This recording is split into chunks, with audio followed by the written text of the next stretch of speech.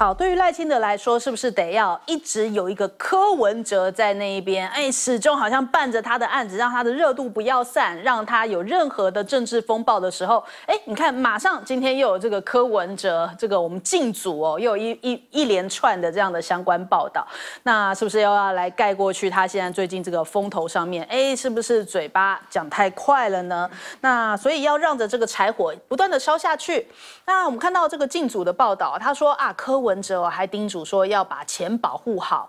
那橘子呢是他的这个贴身账房，橘子他现在滞留在日本哦，没有归案，恐怕要遭到通缉了。你看这个禁组的报道是这样讲说，根据本案掌握到啦，这个贴身账房绰号橘子哦，现在已经被锁定了，叫做许子宇，许子瑜，他的角色就像是阿扁贪污案当年的大账房陈振会哦，所以可能会变成这个案情的重要破口。那周刊还讲说呢，橘子在出逃日本之前，柯文哲还叮咛他一定要保护好身边的钱呐。橘子迟迟没有到案，最后恐怕也会遭到通缉哦。那所以我们看这个相关的报道，第二篇又讲说，知情人士说，沈庆金跟柯文哲在市长室密会，达成互相帮忙的共识之后呢，沈庆金就交代朱雅虎找七位微金集团的员工，以假政治现金真汇款的方式呢，捐了两百一十万给民众党，对柯表达善意。那朱雅虎到案也坦。坦承，二零二零年三月份，沈庆金亲自下了口谕，要他找七名员工汇款哦。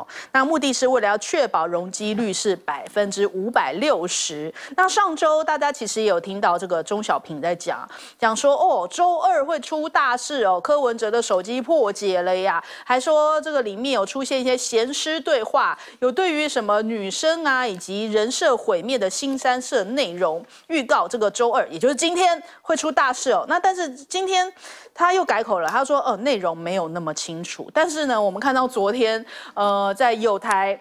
跟我投时段的节目哦，哇，他们讲了两个小时，这些闲诗内容绘声绘影的，哇，讲的之精彩哦，之之疯狂哦，他们讲的内容都是好，是不是都是这样子脑补出来的呢？那明明到了周二，现在也没看到东西啊，但是呢，这个影射的杀伤力他没有说哪一个周二啊？嗯，哦哦，每一个礼拜都一个周二，对对对，哦，原来如此，神姐，哎，对慧文哥神姐，好，再来，我们看一下宝台。那可是我们宝台哦，却是对于雷神束手无策吗？美国爸爸要卖给我们这个军购，都用高价、高好多的价格来买。那王定宇就去问了国防部说：“哎，我们有没有这个查核报价的这种能力哦？”结果我们的国防部战略规划司的司长就讲说：“我方没有办法，就是。”当美国要卖贵的时候，我们连查都没办法查。那顾立雄讲说，我们只能在跟美方签约之前，搜集历史价格来进行分析，来强化我方的议约能力。那现在大家讲说，那我们不就是很傻嘛？就只能当盘子嘛，当凯子嘛。顾立雄讲说，哎，美国没有把我们当盘子啊。那林楚英讲说，这种操作太巧合了，明明是美方主动调查，却被操作成台湾是盘子。那如果我们出去，比方说我们去这家店家买了很贵的东西。然后我们感觉到，哎，我们买贵了，可是店家他自己有主动调查，所以他就代表没有卖贵给我们嘛？这不是这样子讲嘛？就是你卖贵是一个事实，我们去质疑为什什么我们买贵，但是他完全就是站在说美方都不会错，不能质疑美国，不可以以美。那顾立雄讲的啊，他不会把我们当盘子凯子啊，是他们主动调查告诉我们的耶。那你不然不是盘子凯子，你是傻子嘛？因为你连预约能力都没有嘛？那你现在。讲说，如果要讲被诈欺的对象，应该是美国政府，所以推来推去就是没有处理这件事情的能力，我们只能乖乖认清，呃，就是哦，你说好钱，我们就是得认账，得要付账，所以啊，买贵了还不觉得不合理哦，只能吞了哟。那当中会不会有涉及图利还是不能说的秘密呢？再来，我们的预算都花哪去啊？零日攻击，现在被大家讲说这是超思的翻版哦，因为这零日攻击呢，他们这个零日文创是二零二三年去年。五月才成立的，马上立刻获得了黑潮计划，还有国发基金投资一点一亿元，可以说是集三千宠爱于一身。那这一位代表。表人郑新妹哦，那她其实曾经还拍摄过蔡英文卸任纪录片《变局下的台湾》，所以是不是自己人呢？那这样子的一个角色，他就可以哎用八十六万元获得了一点一亿的补助。那各位你们会怎么看呢？就是用你们的钱，民进党用我们的纳税钱来洗脑各位，这是网友的看法。八十几万资本的公司挖了政府一亿多，这厉害啦！再来，班班喝鲜乳，四年耗了四十四亿，全民买单就就业者嘛，因为今年只有这个九到十二月哦，初步预算是七七点一亿，但是呢，现在目前看起来好像有些小朋友还是没有见过牛奶啊。叶元志就讲讲说，小朋友还问说班班是谁，他们觉得说为什么班班喝掉他们的牛奶，这么冷笑话，小朋友就很疑惑，就哎，我们并没有喝到牛奶。那班班到底是谁？这已经变成一个，这让大家觉得很胡烂，就是官员这样摆烂哦，真的能够解决问题吗？我们先来问一下采薇。斑斑哦，斑斑不就是那个赖清德还是蔡英文的那条狗吗？喝掉了。题外话，就先讲这个柯文哲啦。柯文哲的东西，我觉得现在看起来哦，呃，很多的人呢我会把它下标题叫做柯文哲的机智牢笼生活啦。如果它是一部戏的话，我觉得他现在也是已经歹戏托棚了啦。而且放出来的消息，其实这个真实性都很低啦。所以我觉得在这样的状况之下，民众党反而他他的角色会更加的重要，他要针对这。些不是不是真实的消息，要去做有力的反驳。但是比较较可惜、比较遗憾的是，民众党通常在这种可。就是呃可疑的消息，他们没有办法去做有力的反驳，所以我觉得还是要提醒民众党要去做一些有力的反驳，否则接下来只会对民众党越来越不利了。那说这个外国军售，哎，我天哪，我觉得我们的国防部真的是毫无概念呢。外国的军售，当然它有它的机敏性跟它的专业性，但是不代表我们完全没有查核它价格的能力。所以国防部说这样的这个逻辑真的是非常非常的奇怪，这代表表呢，我们的国防部，我们的军方是完全没有办法去。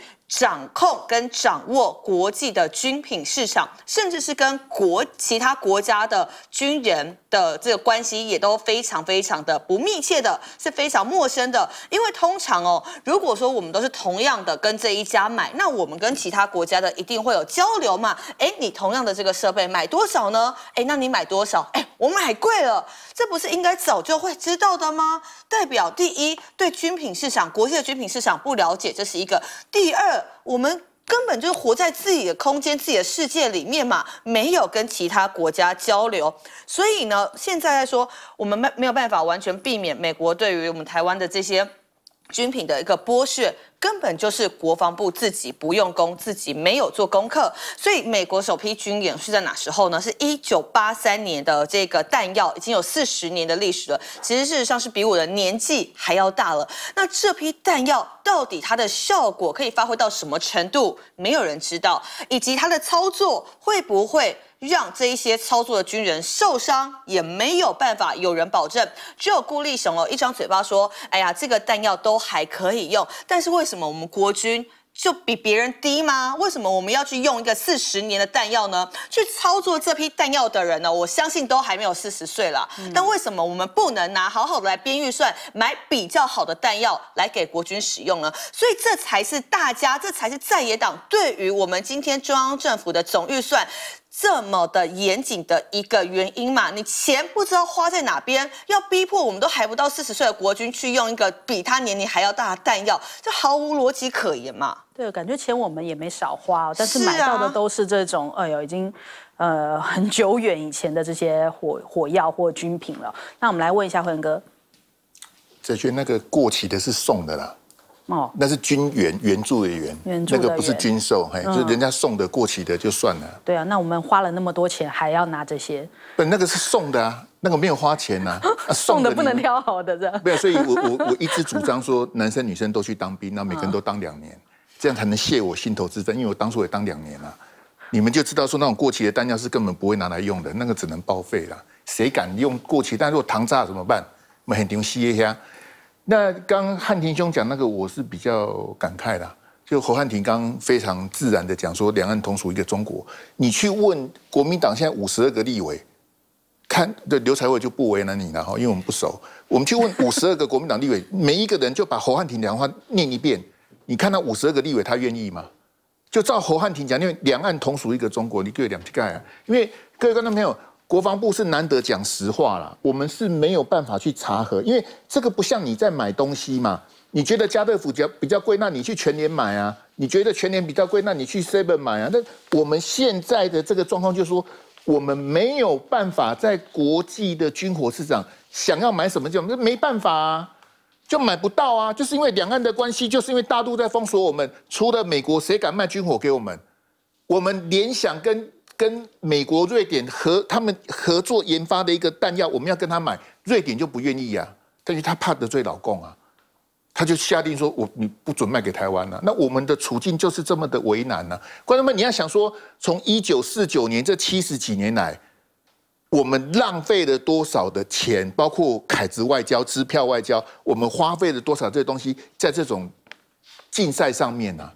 我们到底要花多少钱才能够把这些？这我就觉得很很可怜呐！哈，所以你看，像这个顾立雄，他昨天到国防委员会哈。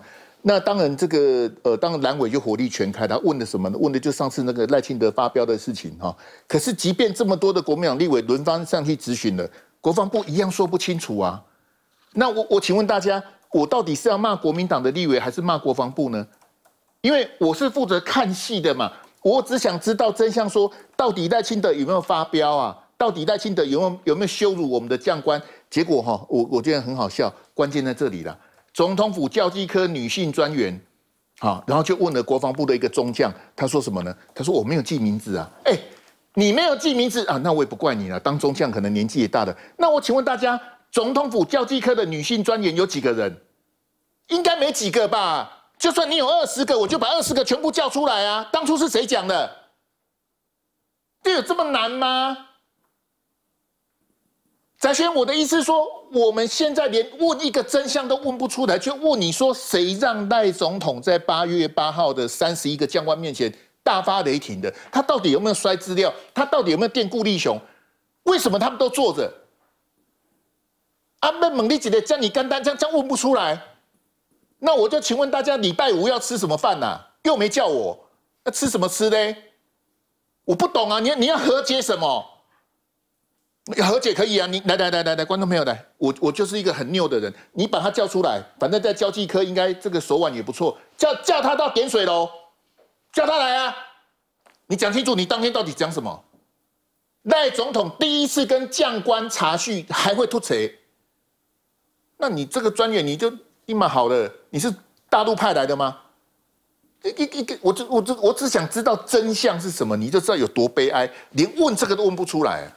嗯好，来问汉庭，看看当前顾立雄跟民进党，就知道台湾的卑微和卑贱了。尤其王定宇房客先生，竟然还有脸来问雷神的这个事情，他还有脸问说：“哎呀，我们有没有能力查核？”有你这种立委，当然没有能力啊！不要忘记了，当彭博社最早揭露，而且美国国务院证实的时候，王定宇第一时间说什么？他说：“哎呀，这个就是造谣的内容农场假讯息，要来削弱台湾跟民主盟友的关系呀，对吧？这就是王定宇说的话。嗯，然后现在林楚英他的大意也是讲说：，哎呀，我们当然就是要感谢美国的调查，就是有你们这种立委，难怪被骗嘛，难怪会被当盘子嘛。”这简直就是被诈骗集团骗了，还得斯德哥尔摩一样，什么意思？我们都知道啊，有人被诈骗集团骗了，我们好心在旁边劝他，哎，这你你可能是被骗了，你要小心一点，对不对？美国国务院都讲了，彭博社都披露了，结果他怎么说？哎，你骗我，等你假消息啊！这个美国绝对不骗我。有这种立委，请问未来国防部里面谁敢爆料？谁敢披露？谁敢质疑？要改正的就是像王定宇之流的这种绝对不可怀疑美国的心态啊！所以像过去以来，我们收到这些发霉的烂货，那请问我们有没有？